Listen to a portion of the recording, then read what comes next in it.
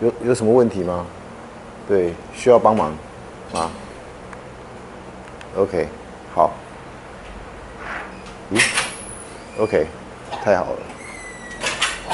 这样一二三四五六七八，刚好两位数了。OK，那个呃，先跟大家提一下哦，呃，我们是下下个礼拜期末考，OK，下下下个礼拜，呃，下下礼拜就是这个月的最后一次啦，最后一次课，那期末考。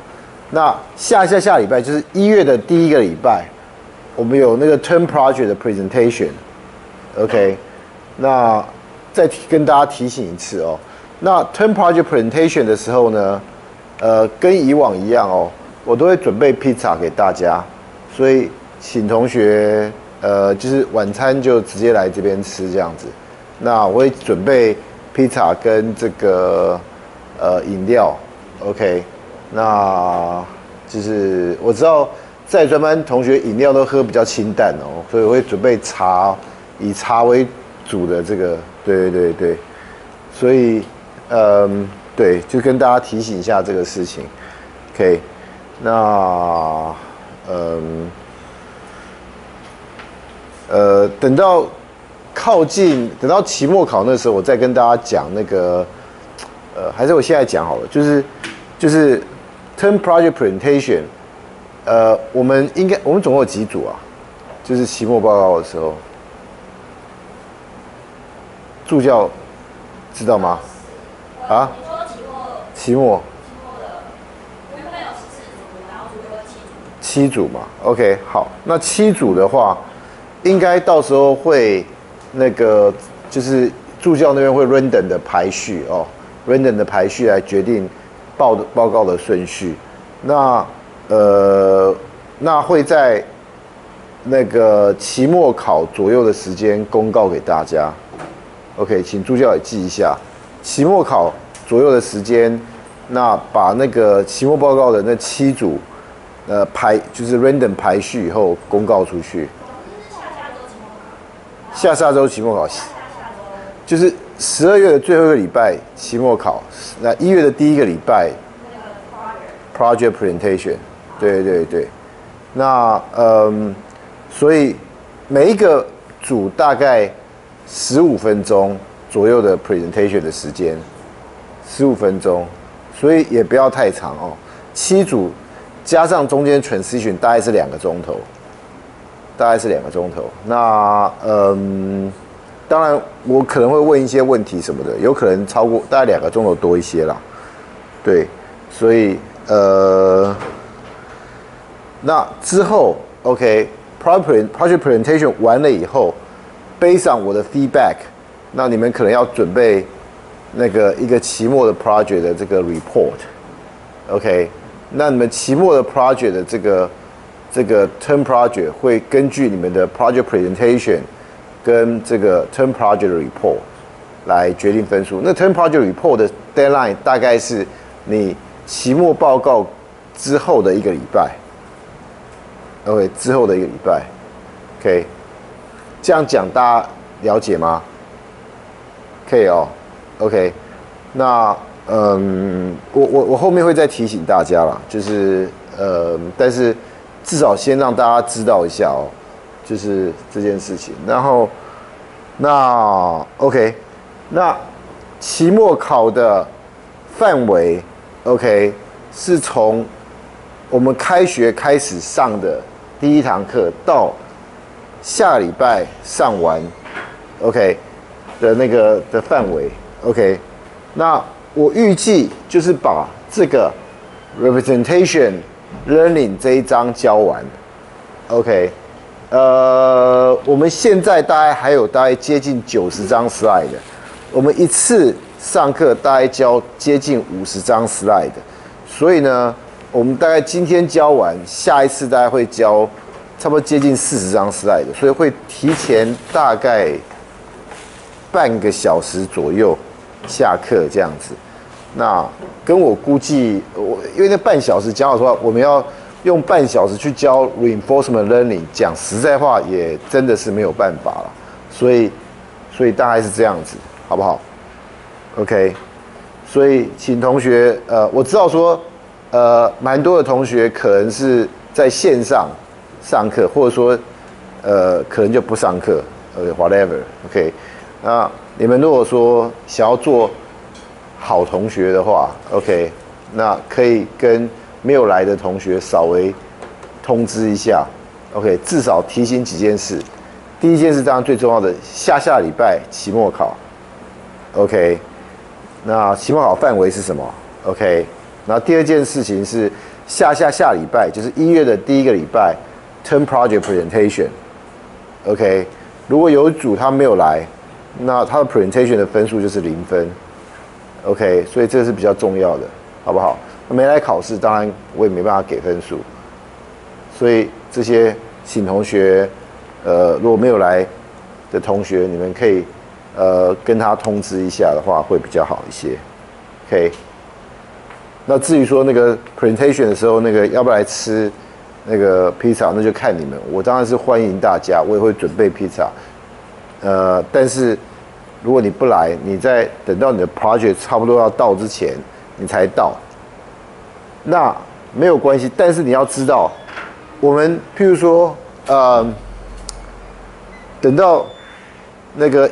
就是说到时候，turn project presentation，我刚刚讲说一组十五分钟，对不对？OK，假设你是随便讲，你是第四组，OK，那你理论上应该要在呃，我们七点钟开始，OK，所以如果说一组十五分钟，你假设第四组，那你应该在七点四十五分钟之前要到，对不对？如果你七点，呃，那你自己抓一个保守一点，你至少就是你虽然不来吃披萨。你至少早十分钟到嘛，这个应该不算太过分的要求，对不对？你自己算一下，你该你的时间，然后往前算十分钟，这个是合理吧？对不对？OK，所以请大家注意一下这个。OK，我当然欢迎大家来吃披萨了，因为毕竟你们来呃听听看人家的 presentation，然后呃如果说呃从别人的那边的做的东西，因为毕竟是做同一个题目，如果说呃大家可以。呃，从别人做的东西那边的报告可以学到一点东西，那也是一个不错的事情哦。OK，好，那回到我们的课哦，那我们上一堂课讲到这个用这个 auto encoder 当做这个 dimensionality reduction，OK，那其中我们就举个例子来讲，我们可以把这个 MNIST 的资料集。做这个 visualization，让大家看得出来说，哎，同样的 class，他们这些点就会比较密，OK，不一样的 class 点比较远，而且类似的 class，哎，很好玩的，他们也会比较近，OK，这个很靠近我们对这些所谓的 fashion 的这个这个这个时髦的这些这些 item 的这个这个直观的这个这个这个理解哦，OK，那。前面还有呃讲到 MNIST 呃对，Auto Encoder 可以做一些别的事情哦。那我们今天就来继续讲下去。那呃，其中第一个 Auto Encoder 可以来做就是我们所谓的 Unsupervised Pre-training。什么叫 Unsupervised Pre-training？OK，Unsupervised Pre-training 就是说，嗯，当你有呃一个问题。OK，呃，大多数是影像的问题哦。所谓 unsupervised pre-training，大多都是影像的问题。你有个影像的问题，你想要可能做分类，呃，其实影像分问题大多都是做分类了。当然也有 regression 的，但是比较少。呃，好，不管怎样，你有一个影像问题要处理，那你有大量的资料，OK，但是呢，你这些资料呢没有 label，或者只有少量的 label，那你要怎么办？这就是 unsupervised pre-training 的一个呃，可以来帮你的地方。unsupervised pre-training 跟所谓的 transfer learning 是非常非常像的。OK，记不记得 transfer learning 怎么做？就是说，你把某一个模型，呃，假设它是做一件跟你现在要做的事情有点像，我所谓的有点像是，其实是就算差了比较多，还是可以，通常都还是可以拿来用哦。就是只要是那个呃有相关，OK 的的这种这种呃已经 train 好的 model，你把它拿过来，然后把上面几层拿掉，然后换最上面的几层，然后你就可以呃去那个呃就是去这个做 transfer learning 哦。那用这样子做的话，大家记不记得 transfer learning？我那时候跟大家讲。你 transfer learning，你可以让你用比较少的 label 的资料，然后得到一个还不错的模型，对不对？好，那 unsupervised pretraining 呢是类似的，但是呢，它的做法是你没有一个 pretrained model，你没有一个 pretrained model，但是呢，你可以利用呢所谓的这个嗯 autoencoder 来建构你的。所我们这边讲的是叫做 feature detector，帮你去，呃，就是就是把这个 feature 抓出来。因为其实呢，当你在训练一个 autoencoder 的时候呢，记不记得你从 input 进来到 hidden layer 这边，它把它变成所谓的 coding 的时候，其实它要去认识这个你的资料的。Pattern 的时候，其实就是在去 detect 资料的 feature，OK，所以基本上，譬如说你假设 train 一个 autoencoder，你就可以把 autoencoder 下面这一部分抓过来，然后呢，在上面再加一点点，OK，然后做这个 transfer learning，然后呢，当做这个呃，就是这个就是在做这个 unsupervised pretraining，所以这样有什么好处？第一点，你在训练 autoencoder 的时候，你不需要 label，对不对？因为你的 output，你的你的 label 就是你的 input，对不对？对不对？autoencoder 你的 label 就是你的 input，OK？所以你在训练这个 autoencoder 的时候呢，你其实呢，呃，我们这边的假设是你有很大量的资料，然后呢，你只有少量的资料有 label。OK，那所以你在训练这个 autoencoder 的时候，你就把那个大量的资料，包含你有 label 跟没有 label 的资料，都可以放到这边来训练这个 autoencoder。OK，这个 stack autoencoder 训练好了以后呢，然后你把下面这几层拿过来，然后上面换它的这一几层。那这个 output 你做 softmax，你看就知道这个是假设它是做 classification 嘛，对，当然你也可以做 regression。那你如果做 regression，上面就不是 softmax，OK？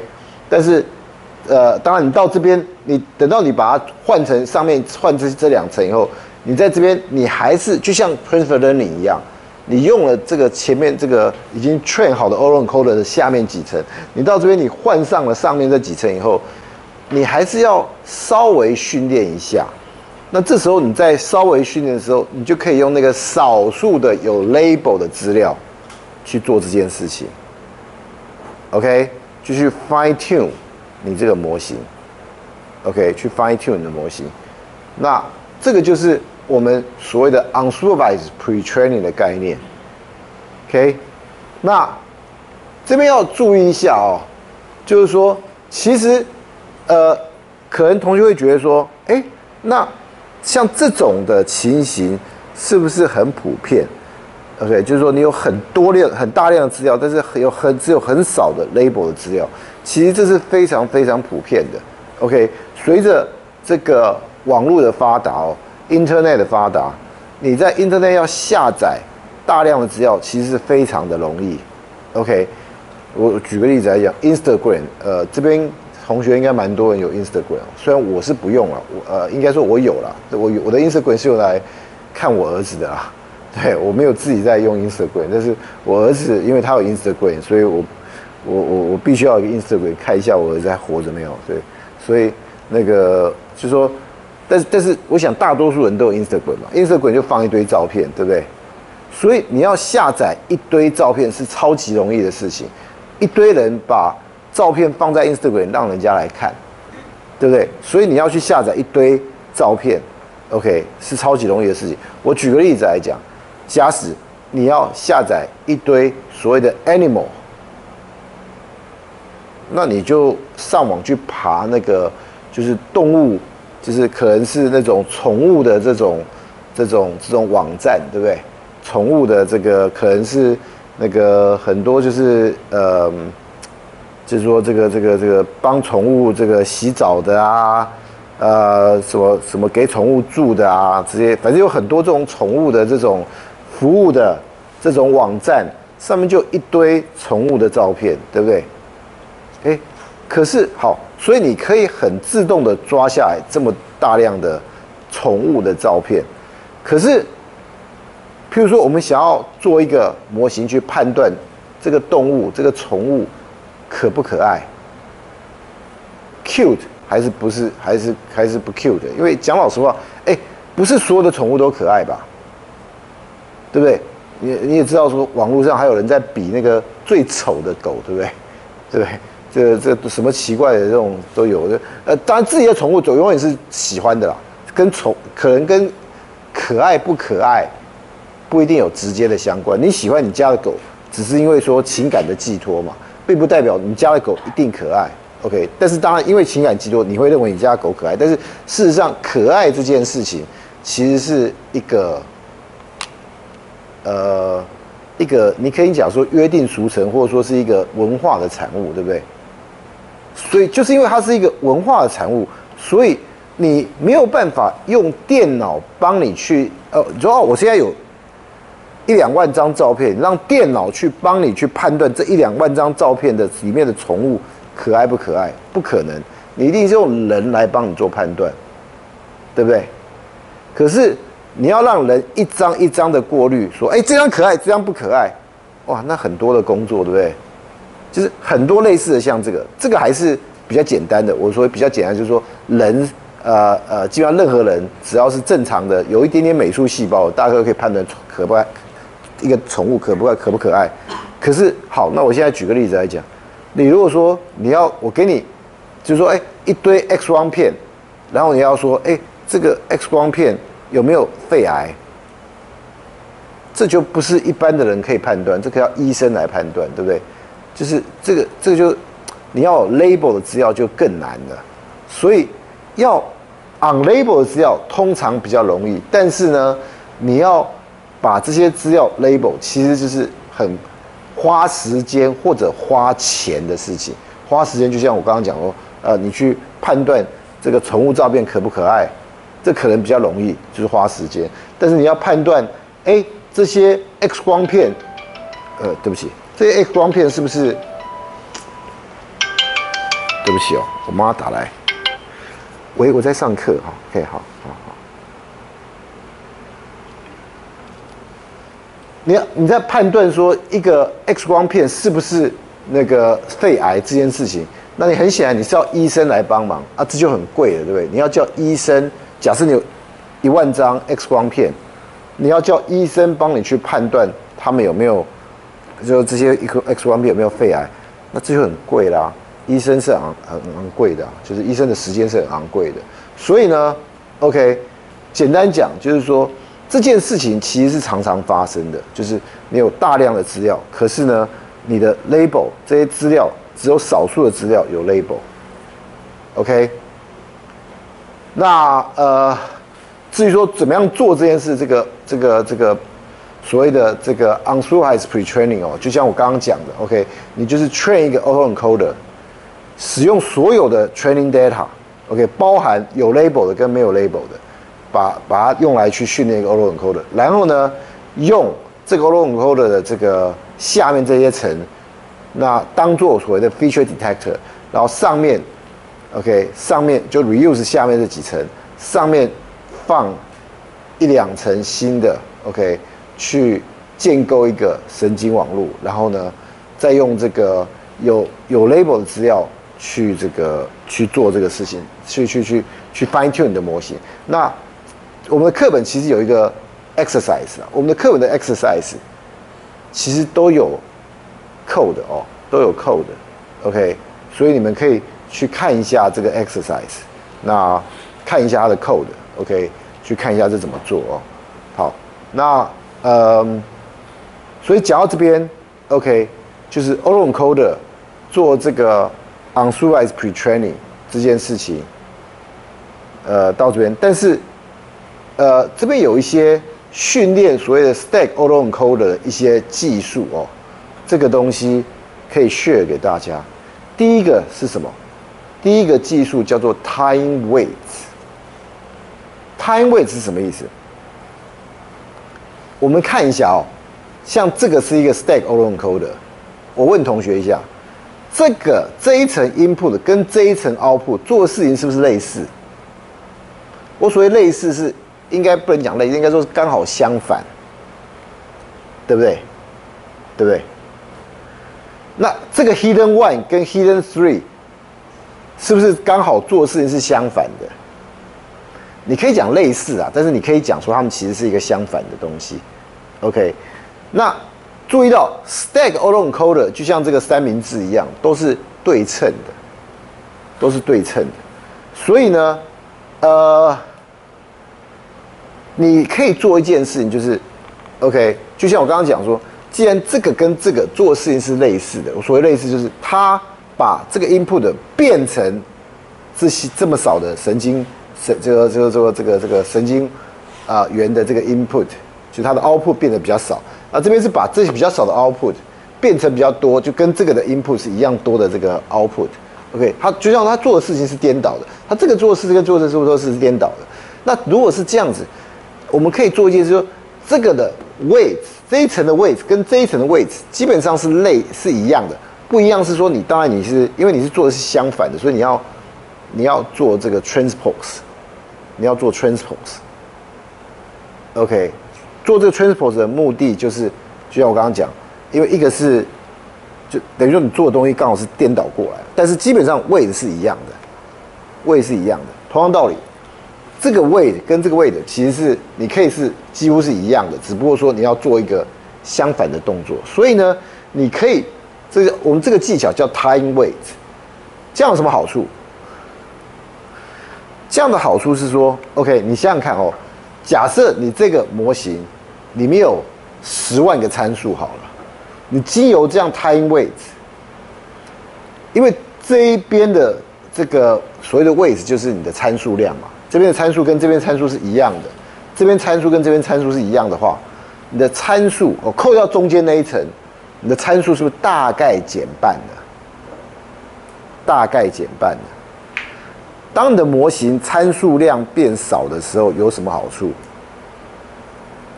第一点比较好训练嘛，它比较容易收敛，对不对？第二点，它比较不容易 overfitting，但是 overfitting 在 Stack autoencoder 是比较不用担心的事情啊，对，因为我们在 Stack autoencoder 重点是我们制造这个中间的这个 under complete 的这个比较比较小的这个这个这个这个嗯 coding coding layer，OK，所以跟那个模型有没有 overfitting 是比较没有关系，但是重点是它会变得比较好训练。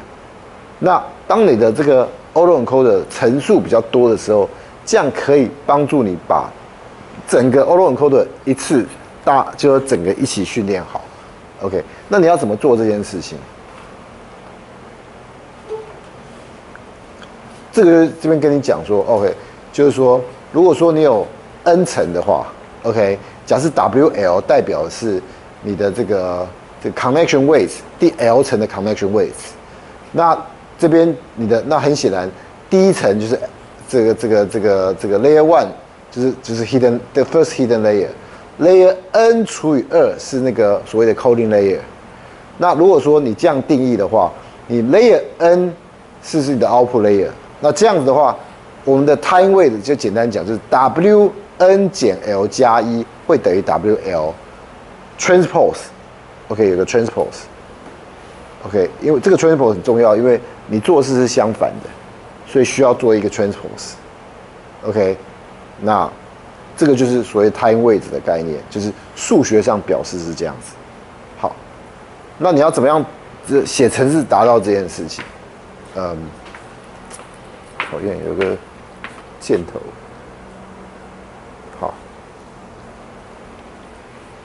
你这边可以定义一个叫 dense OK，它 take 一个那个 chaos 点 layers 点 layer 这个 object 进来，那从这个 object 你可以拿到，譬如说这个这个这个 dense 啊，然后这个然后你的就可以得到说它用的是从这个 activation 拿到它的 activation 是哪一个 activation，然后呢你的这个这个这个它的位置哦，它的位置这边有这个这边，OK，你的这个 matrix multiplication input self dense weights，OK 零 transpose b 等于 true，你做这个 transpose，OK，你定义好了这个 class 以后呢，那你看你可以在这边去先定义你的 dense layer one。OK，是 这个这个是这个这个这个呃，我们这边用的是哦，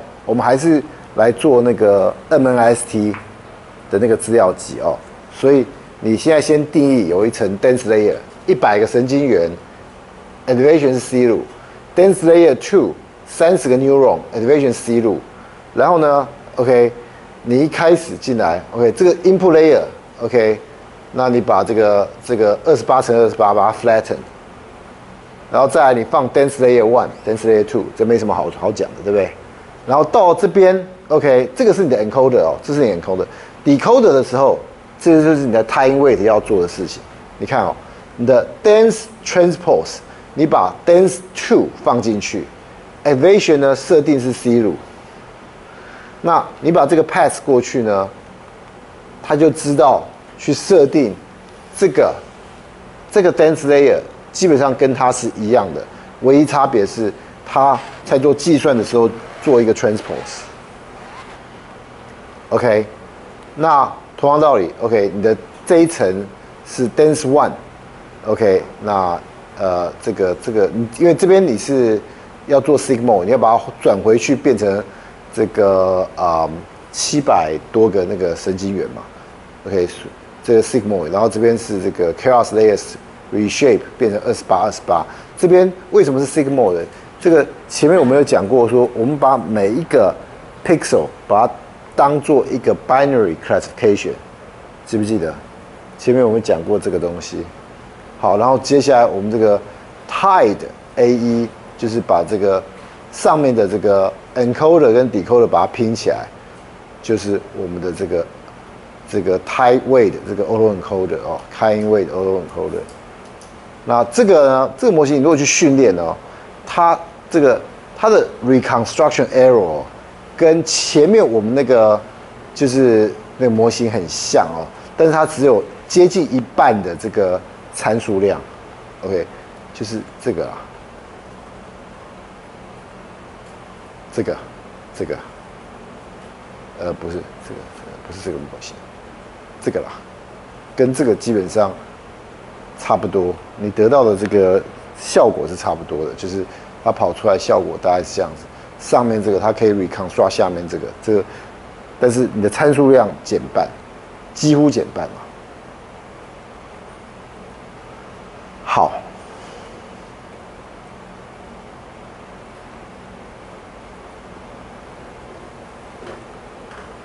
那。另外一个技巧要跟大家讲的，其实比较不是那么在现在的时间来讲是比较不是那么重要的。OK，这种技巧叫 training one autoencoder at a time，这个什么意思？OK，就是说这个东西呢是先解释一下，这个技巧是在早期的时候，呃，我们在第那个呃，第四我们讲完那个 MLP，我们是不是有一章去教大家怎么样训练 MLP？就有很多的技巧，对不对？那个些技巧大概都是呃啊一九九零代末期、二零年代初期的时候被开被发展出来的。那但是在那个之前哦，在那个之前，OK，其实。呃，要训练一个呃神经网络的模型哦，超过两三层的，就非常非常的困难。OK，非常非常的困难。那那你想想看，我们现在讲这个 Stack Autoencoder，随便一个就是五层啊，随便一个就是五层啊，这已经很小的嘛，对不对？随便一个五层，比这五层还小的就三层嘛，三层几乎基本上是最小的 Autoencoder，对不对？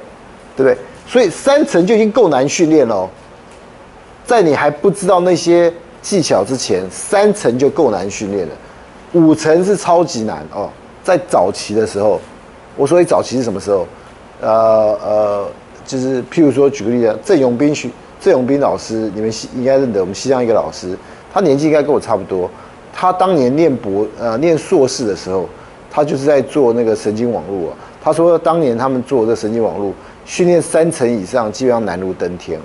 当然这有几个原因，第一个台湾当年的那个他在那时候他应该好像在交大念念念硕士吧。那交大那些那时候的资源也比较不够了，OK，呃，应该说那呃那时候就是本来大家对神经网络就不够理解嘛。那第二点更重要一点就是很多那个技巧，怎么样训练神经网络技巧，大家都不知道。所以呢，那时候三层就已经了不起。所以说，那怎么办？那你可以一次训练三层，反复这样做，把这个 stack autoencoder 就是很多层 stack autoencoder 给它做出来，怎么做？OK，我把图给大家看。Phase one，你先做这样子，第一第一次你先做这样子，做这样子是不是三层？这没问题。做三层这样是是有没有问题？没有问题吧？所以这样三层，假设你这三层可以训练好，OK，当年的资料量也比较小了。所以说，你训练三层也已经差不多了。好，训练好了以后，好，这边很重要。你把你的资料喂到这个 input，用 encoder，用 encoder 把这个这个这个 coding layer 的 output 把它抓出来，这是你的 output。然后再来，你再建构一个这样子的，就是跟这个这个 hidden one 一样大的。你把它这个当 input，那更小的当 hidden one，啊，当当另外一个 hid 那个 hidden layer，然后再这个 output，这是不是也是三层？这是不是也是三层？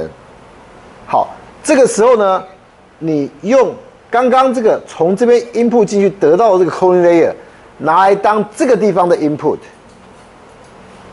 啊，它的 output，它的这个 label 当然就是这个这个 coding layer 的这个 co coding。来当做它的 label，然后你这样，当你可以把这个训练出来，因为这也是三层嘛。如果你可以把这个训练出来，代表什么意思？代表说，哎，你从这边变到这样子的 coding，到这边，哎，又变得更小的 coding，然后变变回来这个这样子的这个 coding，然后再回来变到更大，对不对？它整个是不是可以完？你可以把它兜回来，变成这样子，对不对？所以你训练两个三层的，你就会可以兜回来一个五层的，对不对？概念上是不是这样子？OK，那这件事情其实可以反复操作哦。我们这边是告诉大家，你用两个三层的兜出来一个五层的，你事实上可以做三个三层的兜出一个七层的。OK，就是说这个可以被。这个 generalize 这个这个做法可以被被反复的操作哦。那你做三次就变七层，做四次就变九层。OK，所以呢，理论上 OK，当然你要算好了。譬如说，这个每一个这个的 hidden one 就会变这边的 input。OK，那这边的 hidden one 的这个，如果说你有再多一个的话，就变这个第三个的 input。你要把它兜好哦，要把它兜好，要不然的话就没办法放在一起。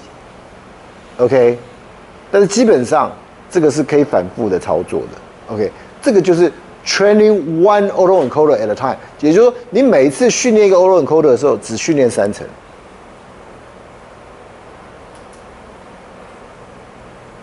但是事实上，你可以借由这样子几，就是三层三层的 Oroncode 训练，把它组合回来变成一个比较深的这个 stack Oroncode。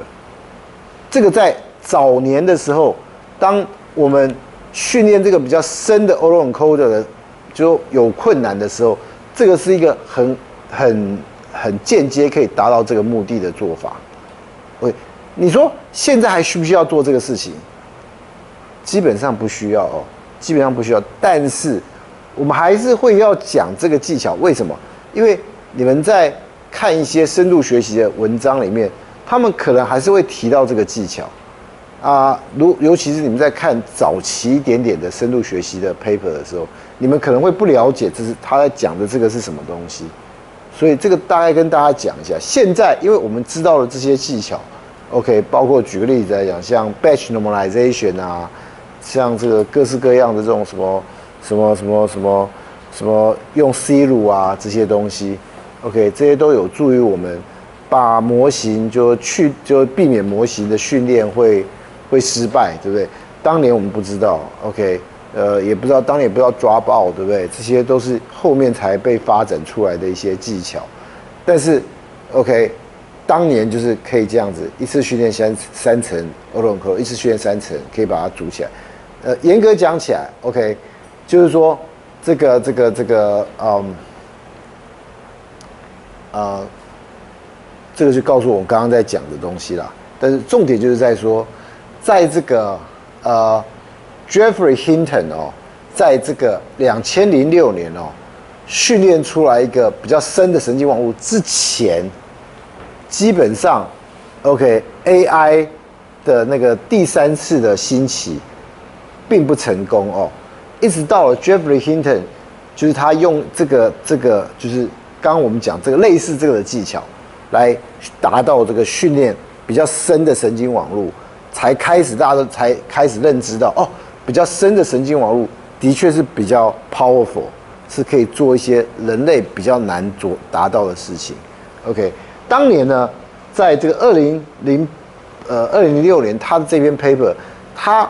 他严格讲，他不是用这个 autoencoder 哦，他那时候是用的是这个这个这个这个 restricted Boltzmann machine，OK，这个这个 RBMS 哦，这个这个东西比较，我们我们是没有教了，这个是呃呃，你们如果有兴趣，你们可以自己看哦，因为这个东西现在已经没有人在用了哦，这个这个东西其实还要经过一些 stabilization 的这种过程，所以并不好训练，但是当年呢。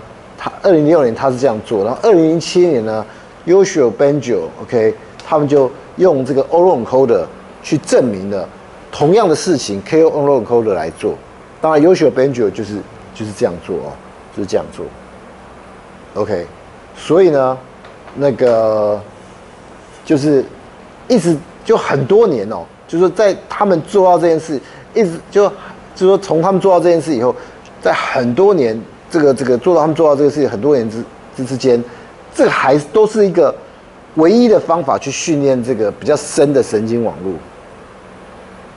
OK，所以就告告诉大家说，其实你们学到那那一章怎么训练神经网络那个东西，其实是人家的这个在早期在做这个训练，在做这个神神经网络这个这个模型的时候的，就是说基本上不知道那些东西，基本上是没办法做的哦。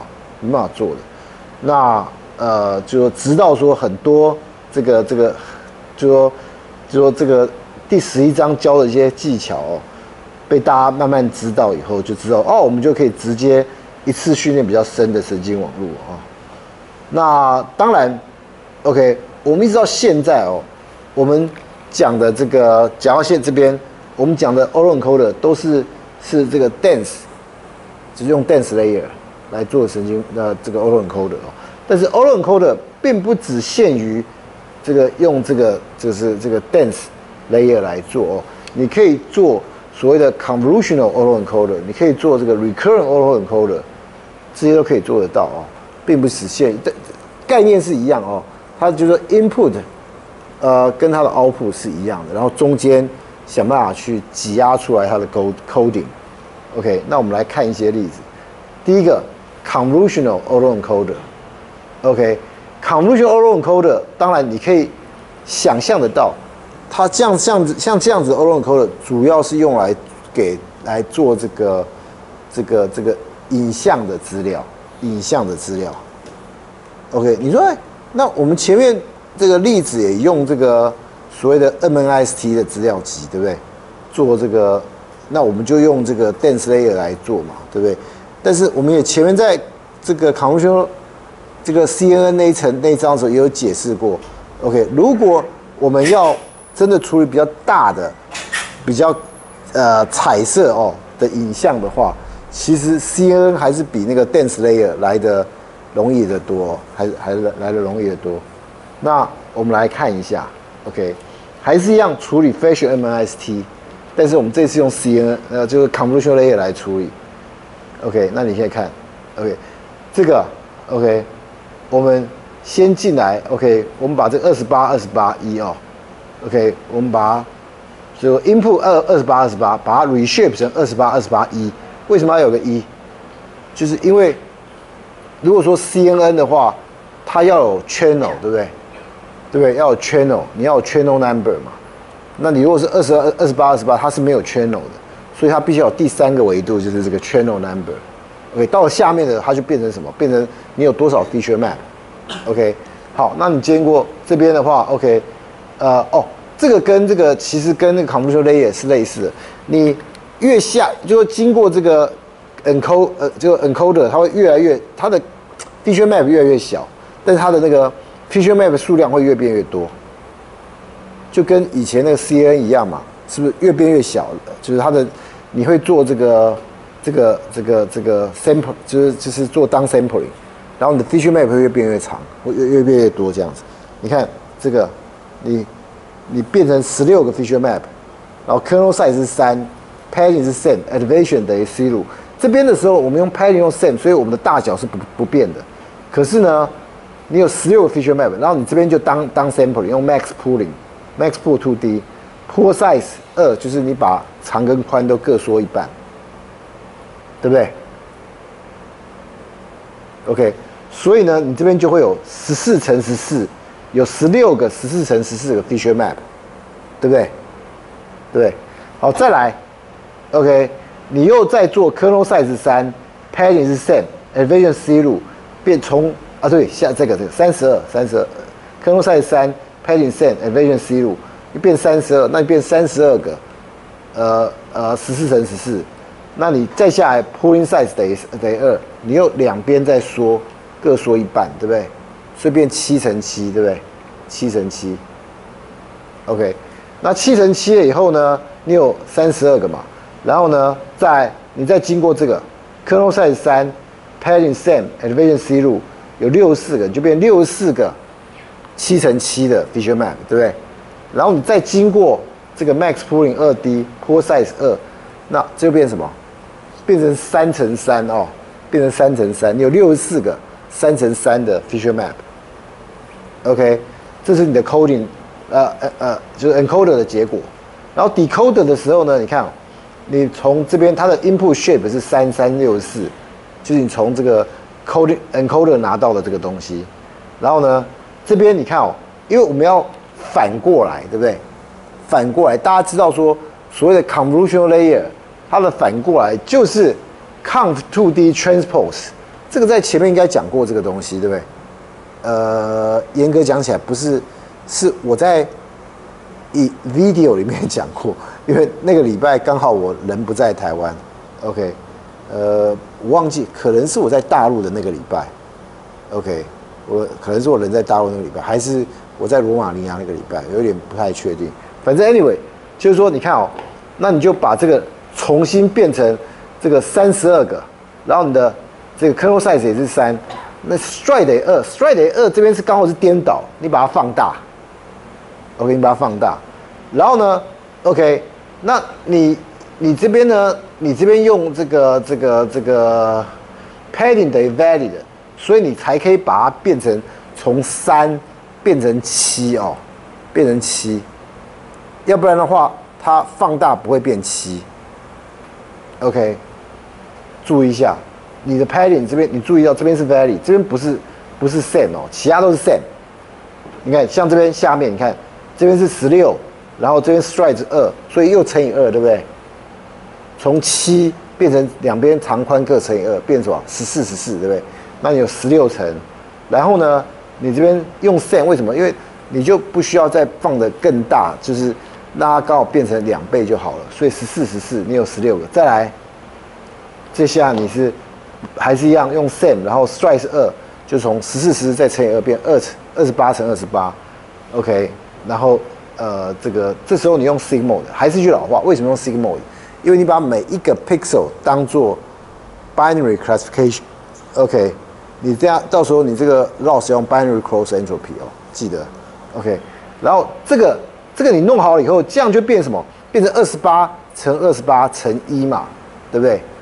但是你这边你的那个 channel channel number 哦，你必须要把它去掉，所以你用 reshape 把那个变成二十八二十八。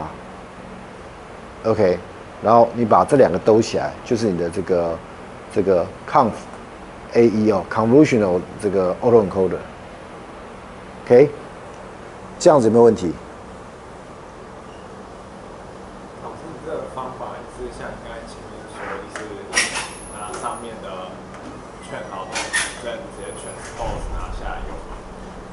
上面 train 好，没有没有，这就直接是从头开始训练哦。这不是那个 on s u r i s e pre-training，on s u r i s e pre-training 是是是另外一个 topic 啊，我们已经结束了。有一个，你讲是哪一个？这边是这边是这边是 unsupervised retraining 嘛？在 time way 之前我们在讲这个嘛？对，然后接下来这边这边都是不一样的东西啊。哪一个？time way。啊，不是不是不是不是，不是，没有没有，呃，对了，因为这两个都叫 transpose 哦，对不起，这边我可能 OK，这边的 transpose 代表是说你呃呃，对不起，这边这个代表说你把它做是相反相反嘛，一个变小一个变大嘛，对不对？所以它是 transpose 没错，transpose 基本上就是基本上就是变小变大的差别，对，没有错，但是一个是。Convolutional layer 的 transpose，那个是，呃，就是说是专门是那个，这 conv 2D transpose，这个这这个这个这个东西是呃呃 convolutional layer 专有的，对，但它没有胎位的，这没有胎位的，这没有胎位的，只不过刚刚那个胎位的是说，那你如果说你要你要你这边就不能用这个，你要用用 customized 的 layer 去来做这个 time weight。OK，你看我们要做胎位的话。不但是不但是这边是 transport，事实上你这边是一个 customize 的一个 class 去做到这件事情。OK，这下面不是啊，这边是一个 standard 的这个 transport 类 count to the transport，所以它没有做到 count 那个把那个 weight 把它把它抬起来，没有没有把它把这这边之所以 time weight 是因为这边你看，在这里我们等于说我们用的 weight 基本上是它 pass 过来那个 layer 的 weight。OK，所以所以他们的位置用的是一模一样的东西，但这边这边你看哦，虽然名字有点 confuse，有点有点有点看起来很像，但是这边是不一样的层嘛，所以它的这个这个这个它的 object，它这个这一层的 object 是不一样的东西嘛，对不对？所以它里面的这个参数是 separate 的。那我还有一个问题。好好，当然没问题。刚刚那个开位那边啊，对对对。有一个疑问是。因为它是直接拿上面的，然后直接再拿拿过来再转。对对对对对对对。那这样要怎么确定？因为它就是它 encode 就已经 encode，所以你就知道只是转向哪里就把它当 decode。那怎么知道 encode 有没有学到好的 representation？怎么知道 encode 有没有学到好的 representation？因为我怎样转都已经转出来，就可以转的长，因为它。呃，因为你的 dimension 还是会降啊。你学不是因为它有没有反过来的问题，学是因为说它强迫它的那个，强迫它的那个中间的那个 coding layer 的这个 dimension 变小这件事情啊。对啊。autoencoder 之所以是 autoencoder，重点就是它中间的 coding layer 的问题。对，像你这边我们放的 constraint 是让它的 coding layer 变小，我们叫这个叫 under complete auto autoencoder 嘛，对不对？对，不是因为说它有没有胎位的，有胎位的，没有错，你的参数量变小，它变得比较容易学，但是并不代表说它它它不需要学。你你不需要学，那你想想看嘛。好，我们现在来看，呃，你你还是丧失掉一些东西嘛，对不对？那你这边怎么恢复？你没办法恢复啊，就算把这个位的一样。哦。我我说好，我说我随便讲哦，一加一等于二，你们拿到二了，你二回去的时候，你不知道是一加一啊，对不对？就说这他这个不是这样算的，不是这样子。就是他他在他在那个 dimension 降低的时候，他有一些 information 是 lost 掉，所以他必须要学到那个 pattern，要不然没办法。OK，所以重点是你的 coding layer dimension 的问题，而不是那个有没有 tie weight，好不好？这样回答你的问题吗？OK，好，太好。好，当然这边没有错，刚那个那个梁宏宇讲没错，这边。Come to transport，因为两边都是 transport，所以有可能有同学会以为啊，这边也是 tie weight，不是不是，没有没有，这个就不是，完全不是这一回事。这只是当刚刚好 convolutional layer 它的相反的 layer 就是刚好叫 come to 呃 to the transpose 这样子。好，再来 recurrent 那个也可以用 recurrent layer 去做这个 recurrent autoencoder。OK，那你可以看到这边 OK，这边有几个。比较特别的，第一个，呃，这个 encoder 没什么了不起哦，就是 chaos layer LSTM。你你这边的话啊，哦对对，这边也这边这有一个先讲，这个哦这个 recurrent encoder，它做的它处理的资料集也是也是那个呃 fashion MNIST，也是二十八二十八，OK，那呃所以你看哦，它这边一百。Return sequence 的 true 代表什么？代表它输出也是这个这个 sequential，对不对？对不对？但重点是你看它的 input shape，input shape 是 none 二十八，代表什么意思？它把二十八乘二十八，把它当做二十八个 sequence。OK，那既然它这个每一个每每一个二十八，这个都是一个 sequence，它那个长度都不重要，所以它这个第一个那个 dimension 是 shape 是 none 哦。OK。他把它当做那个那个就是就是这个这个 sequence 嘛，它可以 take any any size。好，然后再到这边变那个 chaos layers LSTM 三十，这个哦其实是一个这个 encoder 其实是一个啊啊 sequential to vector 的形式，sequence to vector 的形式。因为这边虽然说它这边是 LSTM，但是因为这边没有 return sequence 的 true 嘛，所以它出来是一个三十的。一个 vector，OK，那当然，你这边要恢复成下面，当然你可以猜得到，下面一定跟什么 vector to sequence，对，你下面一定要跟 vector to sequence。好，那那这边有个比较特别的哦，你这边有一个，你注意到这边有个 chaos 点 layers 点 repeat repeat vector，二十八，OK，它有二十八个 sequence，但是你这边你把它做 repeat vector，这 input shape 等于三十哦。呃，三十是因为从这边来，OK，但是它的 input，它你把它 repeat，为什么？因为它进来是一个 vector，你要把它 repeat，它才会变成这个这个这个 sequence，OK，因为你要把它变成 sequence，所以从 vector 变 sequence，所以你用了一层叫做 repeat vector，OK，然后接下来下面就比较简单了，就是你接接接着 LSTM 一百 return sequence 等于 true，下面也是 sequence，然后到这边，OK。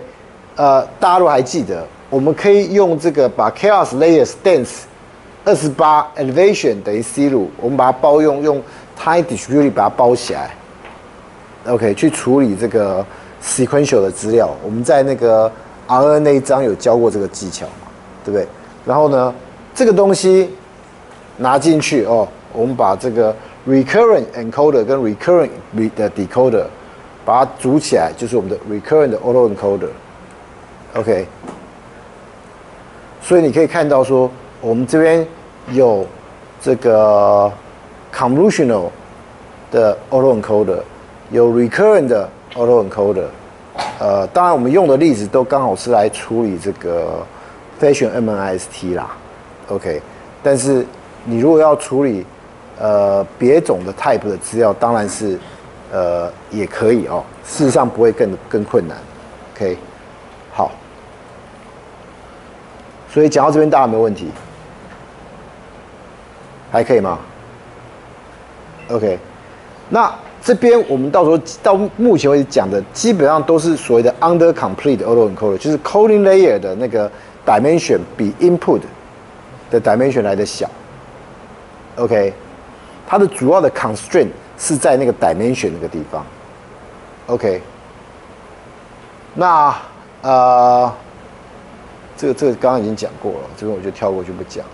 OK，好，那接下来要讲的是所谓的 over complete autoencoder。OK，over complete autoencoder 通常指的就是它的 constraint 并不是在 coding layer 比较小。OK，呃，当然，呃，我们后面的例子有一些它 coding layer 还是比较小了，但是重点并不是它的 coding layer 小不小，呃，应该说，呃呃，通常在 over 这个 complete autoencoder 这里面，通常在意的是它的 constraint 是别种形态的 constraint。OK，这个这个，举个例子来讲，你可以这个。用来哦做这个，你可以加所谓的 noise，你可以加 noise，OK，来让它变得比较困难，OK，那呃这种 OK 有很多的这种这种呃事实上，呃我我有一篇那个那个 PM 二点五的 papers 上那个那个那个 TKD 哦。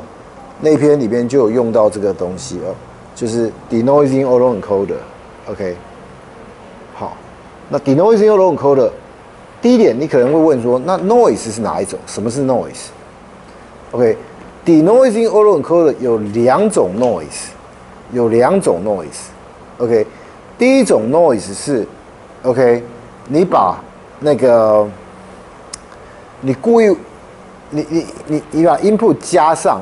一个可能高选、高高斯的那个那个，就是我们所谓的 white noise，OK，然后然后你希望输出的时候不要有那个 white noise，OK，注意哦，你你这边你在训练的时候，我再讲一次，你是一开始进去，比如说你进去的音符是什么，然后你加上 white noise，然后出来的时候，你你希望它不要有 white noise，因为你希望这个高 autoencode 的训练出来以后。他帮你就，譬如你到时候资料真实资料拿到的时候，哎，它有 white noise，它帮你自动帮你消掉 white noise，对对你训练好这个 autoencode，希望它自动帮你消掉 white noise。但是，呃，你你你在训练的时候，你当然要知道它的 ground truth，你才能够训练，对不对？对，所以所以这是第一种形态的 noise，OK，就是呃添加，就是添加的坏 noise。第二种是什么？就是你故意挖掉一些。故意挖掉一些词，呃，这个这个一些值，OK，然后呢，你希望这个 autoencoder 帮你把那些呃，就是缺的值，把它产生出来。记不记得这在我们在前面有讲那个那个 prediction OK，另外一个叫做 imputation，OK，这个就是 imputation，就是呃呃呃，你你把以前的这个资料可能有些缺值。你希望借由这个方法去把缺值补起来，这叫 imputation。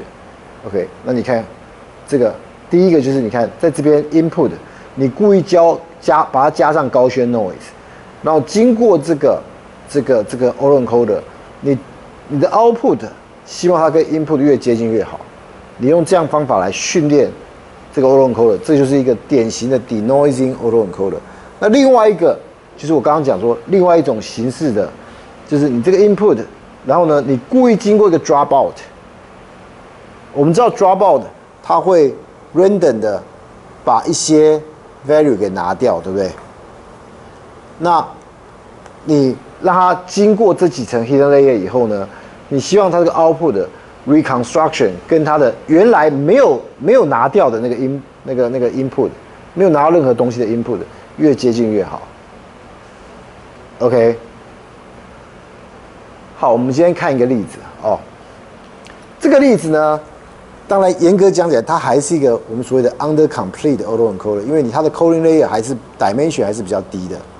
OK，呃，事实上这个呃它是 denoising autoencoder，它的中间那一层的 dimension 不需要那么低哦。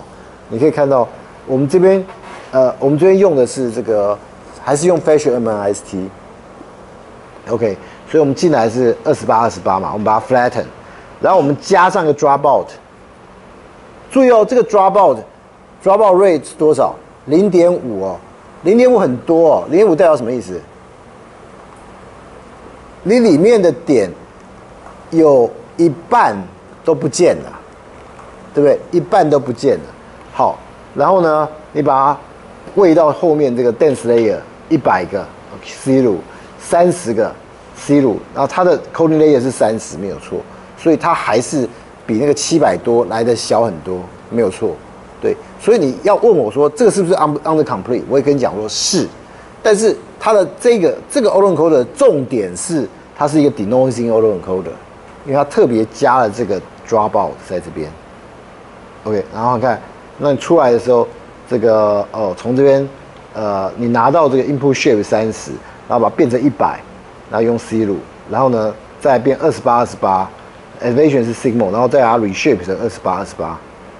然后呢，这个呃，你把这个这个 dropout 的 encoder、dropout decoder 把它拼起来变成 dropout autoencoder，这个就是一个典型的这个呃呃 autoencoder 可以让你做 imputation。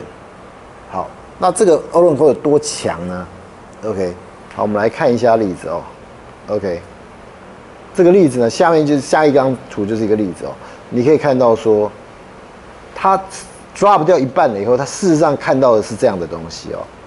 这样东西应该很难看得出来吧？我把下面那一排遮起来，问问你上面那一排是什么东西，你可以猜得出来吗？可能有点难，对不对？